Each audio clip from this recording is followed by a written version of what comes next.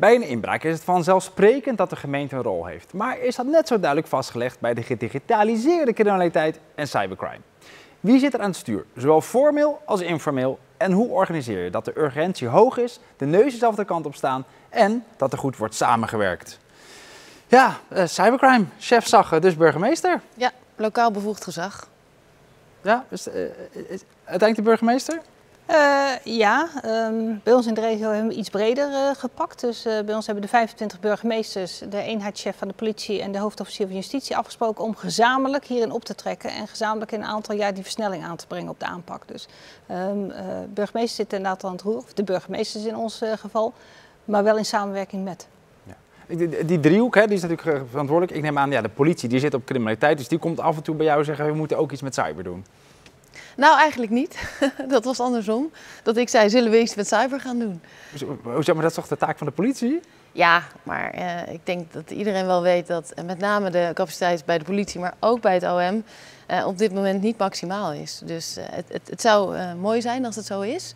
Maar we merken gewoon dat zowel de capaciteit bij een gemeente als bij OM als politie nou, te beperkt is om dit echt goed aan te pakken. Dus als de burgemeester er niet over begint in de driehoek, begint misschien niemand erover?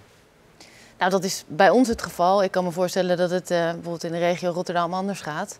Maar het maakt eigenlijk niet uit wie erover begint als je het gesprek maar voert. Nou, voeren jullie elke keer in de driehoek dat gesprek? Nee, dat doen we niet, want op dit moment uh, ja, is daar onvoldoende ondersteuning voor.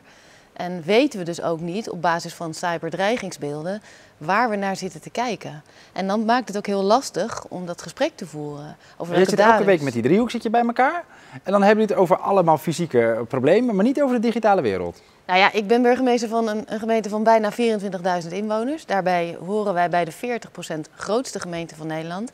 En het is echt niet zo dat wij elke week in een driehoek zitten. Tenzij er uiteraard een urgente kwestie is.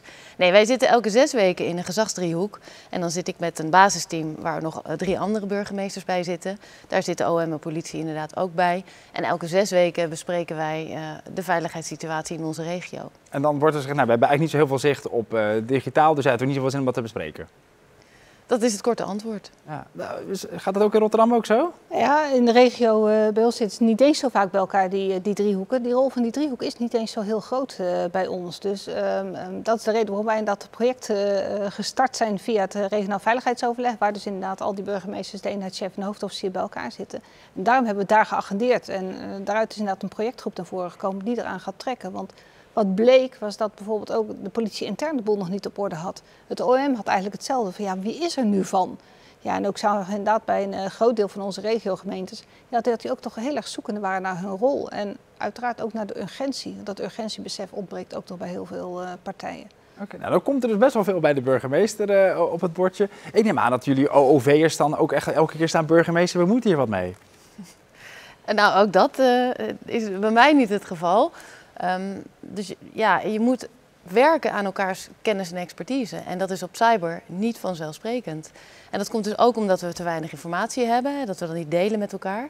Maar het komt ook gewoon omdat het niet een logisch onderdeel op dit moment van de opleiding is. Dat zou het veel meer moeten zijn.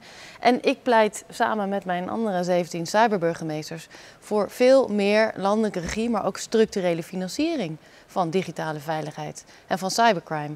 Want alleen met structurele financiering kunnen wij mensen aannemen, kunnen we investeren. En een potje incidenteel geld, zoals een, uh, een city deal, is leuk, maar daar leer je even iets van. En als je het niet deelt, ben je het nog kwijt ook. Maar wij willen echt structureel geld voor digitale veiligheid. Ja, wat wij inderdaad ook zien is dat die OOV-adviseurs ja, die hebben zo'n pakket met uh, taken. Uh, daar is cyber er vaak geen één van. Dus uh, grote gemeentes, bij ons Dordrecht, Rotterdam, ja, die hebben inderdaad mensen speciaal daarop zitten. Maar de wat kleinere gemeentes, ja, daar heb je soms twee of drie OOV-adviseurs. Die moeten alles doen op integraal veiligheidsgebied. Ja, daar is gewoon geen ruimte voor. En als dan ook de, de, de, COA's overstromen en de, de, de, de Oekraïners op de stoep staan, dan vergeten we het allemaal snel een Precies, beetje. Precies, en dan krijg je een straatroof waar inderdaad wel het bloed uitvloeit. En um, ja, dat is gewoon echt heel erg ingewikkeld. En daarnaast inderdaad, um, ja, er moet gewoon uh, capaciteit, middelen, het is er gewoon vaak niet. Uh, Zo'n gemeenteraad, als die daar dat niet als prioriteit neerzet, ja, dan heb je dus inderdaad uh, onmogelijk kun je het uitvoeren binnen zo'n gemeente.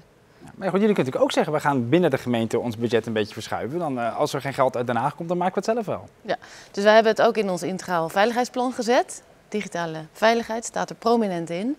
Um, en dan merk je toch dat een, een, raad moet besluiten over ofwel een nieuwe grasmat voor de voetbalclub, ofwel weer geld naar ICT. Want zo wordt het toch wel vaak gezien. Dus als de urgentie er niet is, en die is er soms even, hè, de, het, hek bij eh, Hof van Twente, maar ook uh, het hele datalek bij de gemeente Buren, zorgt dan wel voor verhoogde awareness, zoals we dan zeggen. Maar dat ebt ook zo weer weg. En gemeenteraadsleden hebben weinig met dit onderwerp. En zitten wel terecht ook, hè, dat is een budgetrecht, aan de knop als het om de financiering gaat. Nou, wat mij, wij merken is, we zitten in regionale samenwerking. Daar moet 2,5 miljoen op dit moment worden geïnvesteerd voor hardware, gewoon voor netwerksegmentatie, voor de dingen die we moeten doen om te voldoen aan de baseline informatievoorziening overheid, de bio. En daarnaast hebben we lokaal ook nog heel veel te doen. Want het is niet zo dat het daarmee klaar is. Dus dan heb je gewoon onze eigen mensen bij ICT die daar gewoon heel hard aan moeten Dus eigenlijk gewoon dat eigen huis op orde, waar we het de aflevering 2 over hadden, om dat voor elkaar te krijgen, dan is de koek echt wel op.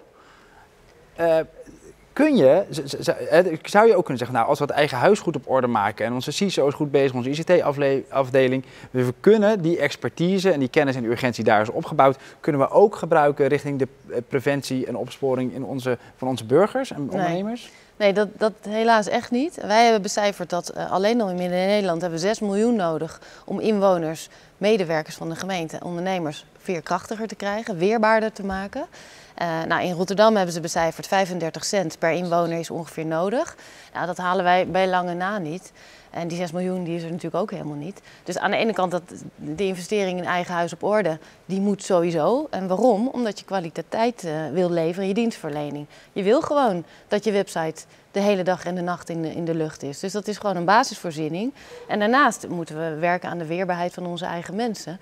En dat kost ook gewoon geld. En voor allebei krijgt de gemeente helemaal niks. Maar als jullie zeggen, eigenlijk een hele, het is verweven eigenlijk alle andere dingen. De GGD krijgt geld voor seksuele voorlichting. Zet dat geld nou op digitale seksuele voorlichting.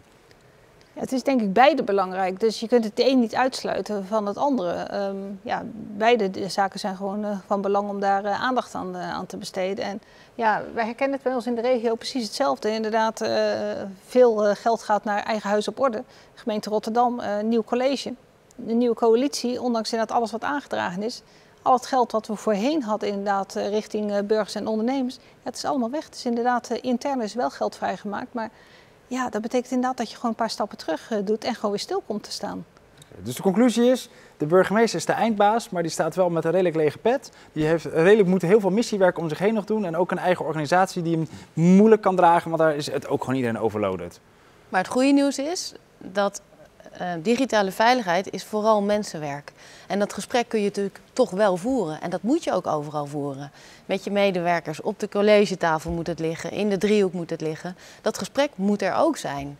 En dat kunnen we gewoon elke dag voeren. En er zijn ook heel veel interventies die uh, niet zo heel veel kosten. Er zijn zoveel interventies ontwikkeld die je eigenlijk gratis over kan nemen om in ieder geval vast te gaan zenden zijn er wel achter dat alleen zenden niet helpt. Dat ook goed is om mensen te laten beleven. Maar ja, er zijn gewoon mooie interventies ontwikkeld waar je in ieder geval de start kunt maken. Dus denk er niet van, joh, het is hopeloos, uh, ik heb geen geld, geen mensen, ik doe helemaal niets. Je kunt wel wat. En uh, nou, wij hebben een aantal hele mooie producten waar we mee bezig zijn, mooie interventies, waar je echt dat verschil wel kunt maken. Nou, helder. Nou, laten we dan snel eens gaan kijken welke interventies je kan doen.